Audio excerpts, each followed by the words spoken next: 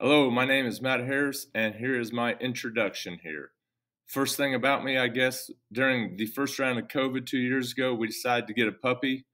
That is us in the top right hand corner picking up that puppy. Um, the middle picture was this summer, which was the year anniversary, and that is how much everybody has grown in one year. Um, getting to know me here. This past year, I celebrated my 15th anniversary of being married to my wife. Um, we celebrated by going to Costa Rica. I have three wonderful kids, and the dog that you saw there. Been a math teacher for 20 years. I love to teach and coach. My father was also a teacher and coach for 32 years. The last 15 years, I have been in Inman, Kansas. Um, I graduated from K State in 2001. Got my master's from Fort Hays State in 2008. Um, I love to hunt and fish, be outdoors. I love to share that passion with my kids. I'm a lifelong resident of Kansas, and I wouldn't trade anything for it. Um, has been a decade since I've been a student. First time using Google Slides, first time using Screencastify, and I am feeling like I'm a little behind. Real quickly about my kids, I picked five bullet points. This is my daughter Sutton. She is 13 year old. She's an eighth grader. She loves sports. She plays volleyball, basketball, track. She loves the TikTok, funny, smart, and she's the sweetheart.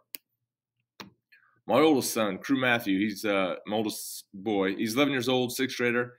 He loves to play football, basketball, baseball. Very competitive to a fault. Joker of the family, and he also loves to hunt and fish.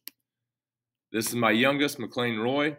He is eight years old. He's a third grader. He loves to be outside. He doesn't like the gyms. He's kind of followed the other two around too much. Loves football and baseball. Loves to fish and hunt, and he swims like a fish. Um, this is what I went about with uh, the inclusive. The top is just if you're lucky enough to have it, you just need to make sure you maintain it. But down below there, to start one in the school, you must be a friendly and welcoming environment, use of inclusive language by everyone, partnership between parents, teacher, students, um, prevention of the use of derogatory language, diverse literacy in classrooms and library, respect between teachers and students, acceptance, not tolerance, make sure staff is trained well in inclusive culture, make sure teachers are comfortable enough to address situations in hallways instead of just uh, skipping over them and acting like you didn't hear them, which is the easy way to go about it.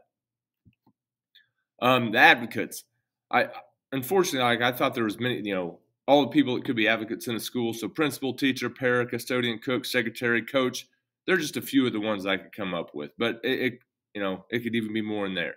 Um, school leader needs to be in front, leading the adults or even students to be advocates for each other. I thought that would be number one.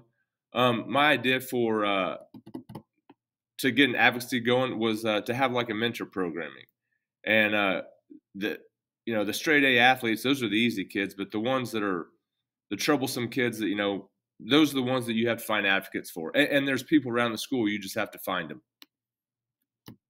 Um, plans to implement treatment, um, safe, friendly, warm learning environment. All kids learn together, age appropriate, in the same same classroom, regardless of race or learning ability. All kids, same opportunity. All teachers and staff work together for for the whole class or individual. Every student learns differently, so multiple strategies are used and adopted to find which works best for the individual student. Respect towards all individuals in the classroom and values each one bring to the classroom. Make sure to include parents. That's big. Um, steps to be taken to change negative assumptions about inclusive culture. I think the number one is you need to be transparent. Uh, there's going to be positive and negatives, but if you try to hide the negatives, then it's just going to come back to haunt you. So you must be transparent involve the parents as much as possible. The, the bigger imprint they have, then they then they don't have a lot to complain about. Um, foster relationship between parents and teachers as much as possible. It need to be one fluid community and team. Um, always mention the benefits of inclusion. Have to make sure there's no bullying or any students that are being excluded by their peers. Have high expectations for all students. All right, that is what I had. Thank you.